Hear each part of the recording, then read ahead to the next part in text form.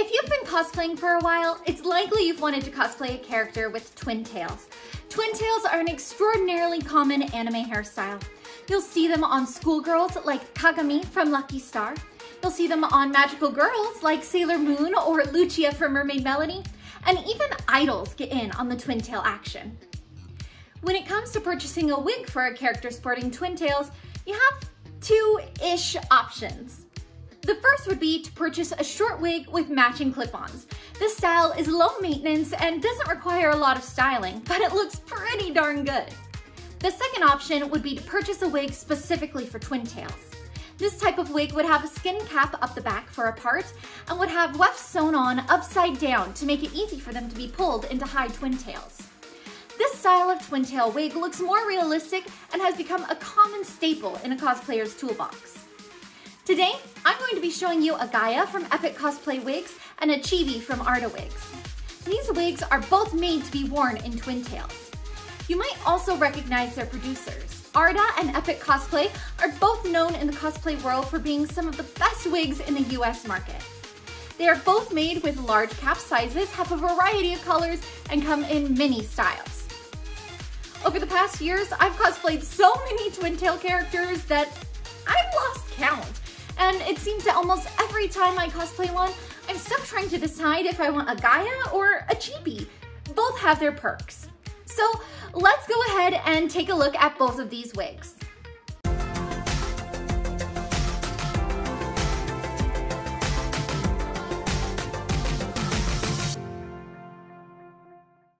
First, let's look at the Gaia from Epic Cosplay Wigs.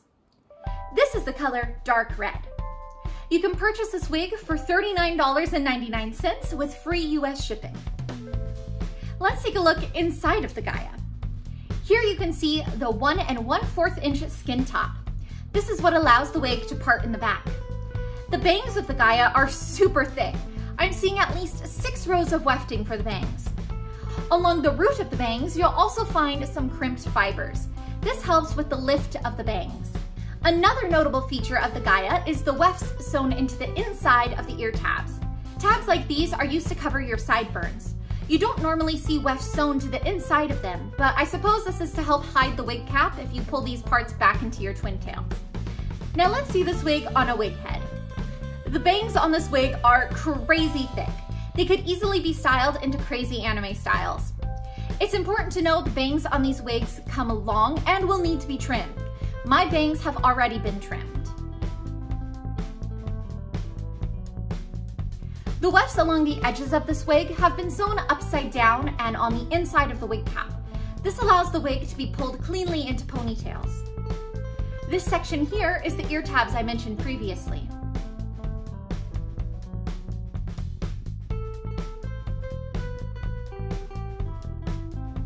Now that we can see the bulk of the wig, you might notice all these short curly hairs. These minimize the bulk of the hair that will be pulled into the ponytails.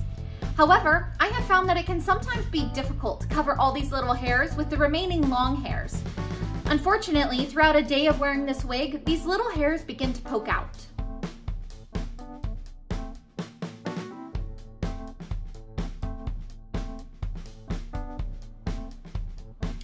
At the base of this wig is a row of baby hairs. These are to help hide your natural baby hairs and maintain a natural look. Like the bangs, these baby hairs are thick and long. Let's try pulling this half of the wig into a high twin tail. As we're pulling this into a ponytail, I can't help but mention the color of this wig. It's a very pure red with little variation. The fibers are also very smooth and soft. Here you can see how much I'm needing to brush and smooth out these hairs in order to hide the little hairs underneath.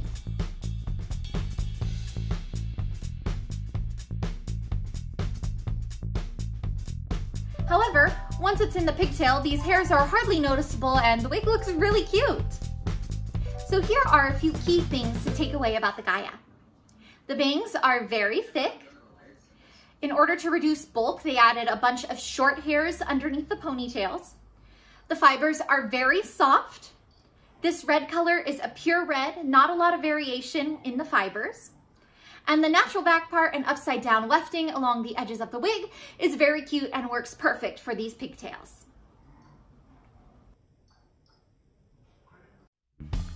Next up is the Chibi from Arda Wigs. You can purchase this wig for $46 plus shipping.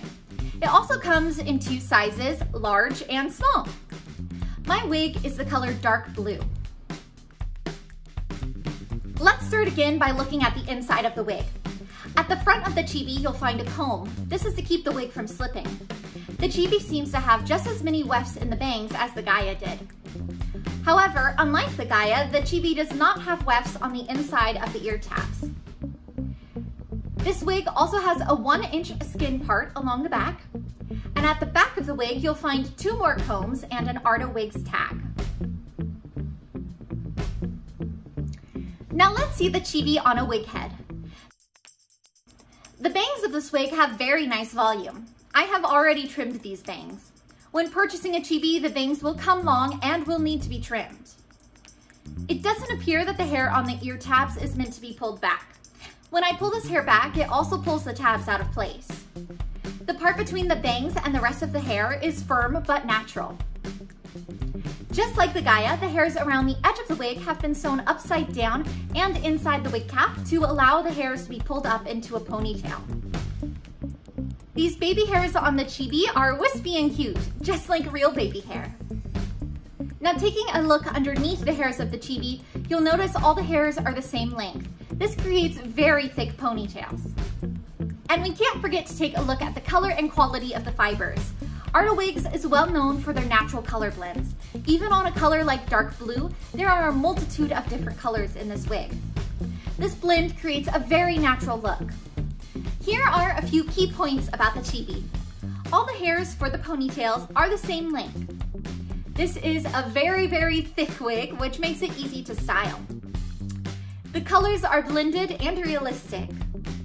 There are three pre-sewn combs to help keep the wig on. And of course, the natural back part and upside down wefting around the edge of the wig make it easy and super cute to be pulled up into ponytails. And now let's look at these two wigs together.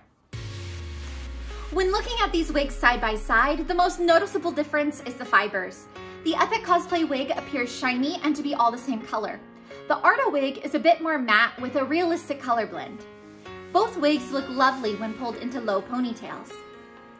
When looking at the back of the wig, the Gaia skin cap seems to be warped and creates a wave along the back of the head. The chibi sits flat.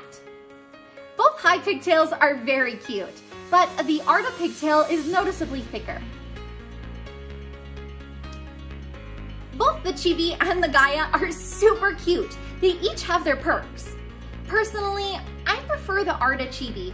I find that the fibers are easier to style and the cap shape and size better fits my head. My Gaia tends to slip around on my head and the pigtails fall out quickly due to the smoothness of the fibers. However, I think that both of these wigs are awesome and it's incredible that we have so many options now as a cosplay community. You used to have to make your own pigtail wigs by crisscrossing wefts or pulling them up and putting your own skin cap. It used to be kind of crazy, so I'm very thankful that both Arda and Epic have created these incredible pigtail wigs for us. It makes life so much easier. So let me know in the comments below which you prefer. Do you like the Arda Chibi or are you more a fan of the Epic Gaia?